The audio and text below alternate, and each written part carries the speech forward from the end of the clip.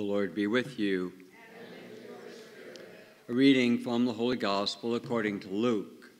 Glory to you, Lord.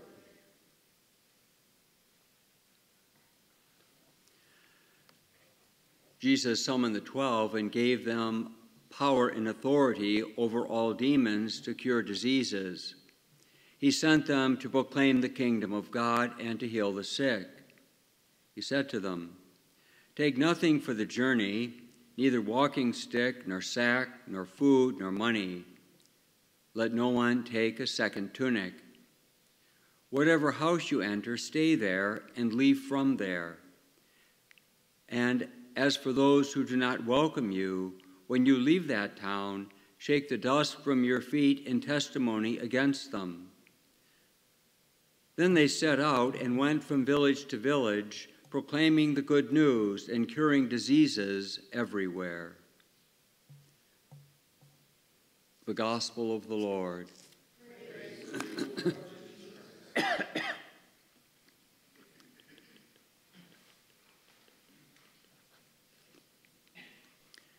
Today celebrates the memorial of St. Vincent de Paul, who died in the year 660 in Paris.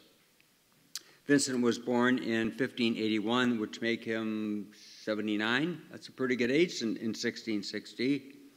And it's not because he uh, took naps every day.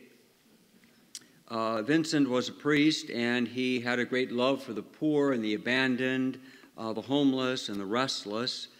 He did important work in that uh, generation uh, for the clergy. He fought uh, different heresies.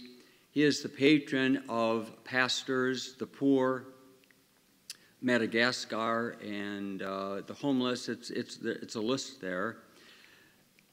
So obviously, we recognize Vincent de Paul. He, with uh, uh, St. Louise de Marillac, uh, founded the Daughters of Charity. He himself founded the Vincentians, the missioners, of which there are about 3,400 today. We're certainly very familiar with the work of Vincent de Paul and often participate in those works ourselves. It's a worthy reality then to pray to and for St. Vincent that, as the opening prayer said, that we share the charisms, we share the zeal he had uh, for the gospel in the service of the poor, and how that might reflect itself in our own lives. We continue with the story of the uh, rebuilding of the temple in Jerusalem, and it might seem like a, a bit of an odd prayer of Ezra here. Ezra is both a priest and a scribe.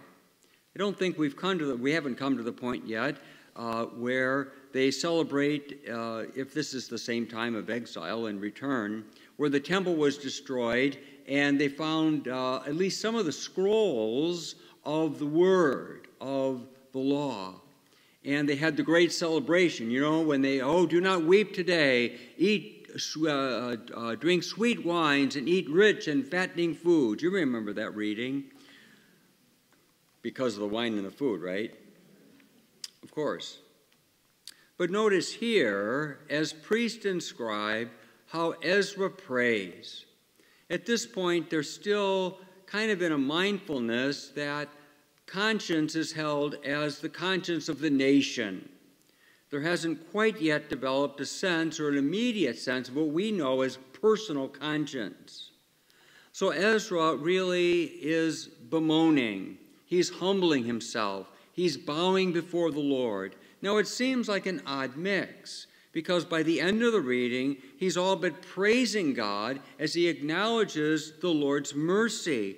Only a short time ago, the mercy of the Lord came to us the, from the Lord our God. But first of all, Ezra knows what's not said here. I don't know the years. I think one of the one of the exiles was about 70 years. I think they were in Babylon for 70 years. But now this is Persia. How long were they in Persia? I don't know. But in that amount of time, that's a two and a half generation, 70 years at that time. And so the Jews would begin to intermingle and marry with the Gentiles. Obvious enough, I suppose. And that's part of the woe of Ezra. Part of it is they had lost the law, they had lost the writings, the Hebrew writings of the Old Testament. They had no place to worship. And yet, as we reflected yesterday, the best they could, they tried to remember the Lord their God and the ways of the Lord. So, in an important way, even as, God, as Ezra is celebrating and, and, and bowing low before the power of God's mercy, he's really praying an, a national act uh, of contrition, a, na- a national act of repentance. My God, I am too ashamed, too confounded, even to raise my face before you. O oh my God, for our wicked deeds, they are heaped upon our heads. We're always going to have that, are we not? But there is a powerful difference. A spirituality of sin can't be denied. We're sinners. Every one of us has times of desolation and discouragement and fear, often enough, or maybe too often, guilt and shame. But we can also, and I would propose more commonly, consistently live in a spirituality of grace. To live in a spirituality of sin is to too much lean toward not really believing in the power of God now, this is even still the Old Testament, the New Covenant, and the dying and the rising of Jesus. There's a spirituality of grace. Now, clothed in the robe of the righteousness of Jesus. He died to our sin so that we can now share his righteousness. Uh, 2 Corinthians chapter 2, verse 15, maybe.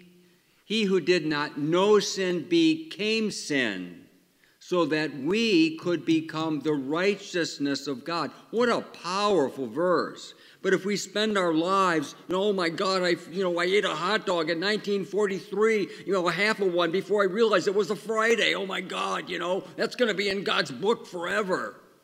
No, it isn't. Wait, wait, did you have mustard on that hot dog? Don't sweat the small stuff. Am I diminishing the reality of sin? Of course not. It took the death of God in the person of Christ to heal that sin. But to somehow get stuck in the mind or the spirituality of sin, I've somehow got to earn or achieve or merit or grow beyond my own faults and failures and somehow make myself worthy of God, you're never going to make it. Did I say it here or somewhere else? I said it, I think, on Sunday. If you get to heaven and someone asks you, Well, how did you get here? And if the first word out of your mouth is I, you've already started in the wrong place. He, Jesus. Because of Jesus, I'm here. He said I could come. Now, the tensions, of course, as we say, well, what did, what did God have against the Gentiles? Well, as it comes to God, no, several generations later, nothing. God wants to save all God's people. So again, you see a certain evolution, a development, a growing forward that God called us generation by generation as we move forward, continuing to keep God at the center of our lives. It can sound very discouraging to say that Christendom is gone. You know, that overarching dome, if you will, under which society, societies around the world lived, there was a Christian disposition in church and world and commerce and economy and institutional buildings, etc. That's pretty much gone. Christianity is not gone because individually we make our profession of faith and collectively we serve Christ, hopefully in the model and the example of St. Vincent de Paul. Again, notice the words, and I, am pretty sure we fail to understand the, the effectiveness of these words. Jesus summoned the twelve and gave them power and authority. Do you feel the power you have in the name of Christ? Do you feel the authority you have in the name of Jesus? It's the authority and the power of love. You don't have to co sign the bad behavior of other people. Well, they did this, or they did that, or this or the other thing. Jesus says, hey, if they're not going to listen to the word, you shake the dust off of your feet and you go forward. It's dangerous to live in the past. It's hard to identify that power, right? Most of us don't think that way.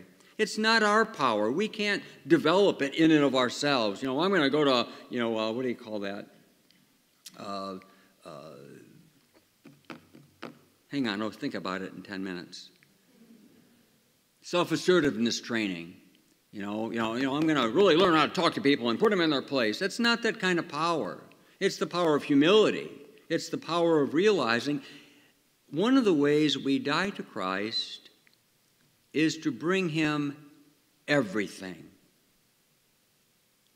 our humility, the things we're most embarrassed about, the things we feel are most sinful. Bring them to Jesus. Break the secret. Break the lie. Lord, I never thought I would do that, and I did. Lord, I can't believe I failed to do that, but I didn't do it. Bring it to Jesus so it's not kicking around in your head. And you give it to Jesus, which is what Ezra is doing. Lord, this is the reality. We're weak and stupid and sinful, but you are merciful. That's the freedom and the power that's been given to these disciples. As we pray then today, may we be blessed by the Spirit and the life of St. Vincent de Paul. As we pray for him, let's be confident that he is praying for us. But even more, Jesus himself prays for us so that we can eh, maybe be a little bit more like Vincent de Paul, but that we can be more like ourselves as we wear that robe of righteousness given to us in the power and the authority of Jesus. Thank you, God, for the divine mercy.